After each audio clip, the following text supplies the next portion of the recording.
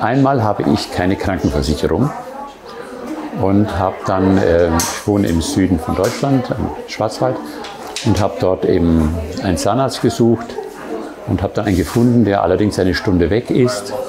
Und ähm, es wurde immer nur wenig gemacht und ich musste immer, hatte viele Fahrwege. Und ähm, dann kam ich durch, ich denke durch das Internet, äh, kam ich auf Dentaprime und war zuerst skeptisch. Das klingt gar zu toll. Heute wird man ja mit Werbung überschüttet. Und dann habe ich aber eben gerade auch die äh, Kommentare der, von Patienten gelesen, die hier waren.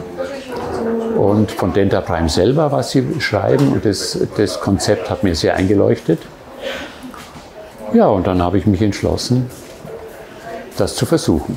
Voll und ganz, kann ich schon sagen, ja. Eher hat es mich äh, überzeugt, dass das absolut stimmt und dass es sehr fair zugeht. Es wurde ein Kostenvoranschlag gemacht und äh, jetzt hält sich auch absolut in dem Rahmen.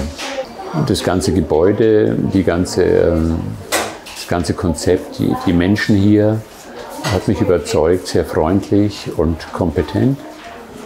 Und äh, man hat gemerkt, der eine, äh, das Labor arbeitet so eng zusammen, sodass man äh, ganz schnell bekam man irgendwie, dass man, man hat eine Operation gemacht, am Abend konnte man schon wieder essen, konnte man beißen. Die Menschen, wie ein Rad ins andere greift, ähm, bekommt man einfach den Eindruck der Kompetenz. Und ähm, da geht die Angst auch weg. Weil äh, ich habe alles Mögliche erlebt.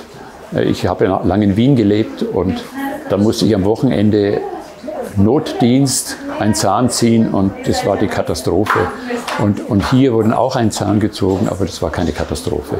Einfach die Kompetenz äh, fühlte ich mich, äh, konnte ich loslassen und die Angst geht weg.